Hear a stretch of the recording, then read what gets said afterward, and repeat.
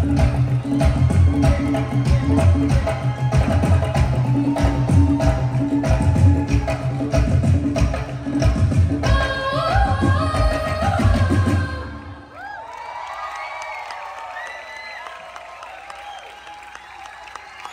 por llamar y buenas noches.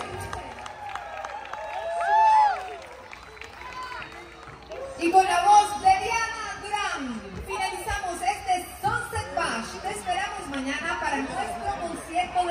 cierre. Totally 80 Sinfónico, el pop y rock de los 80 con esa dosis sinfónica. Más de 30 músicos en escena.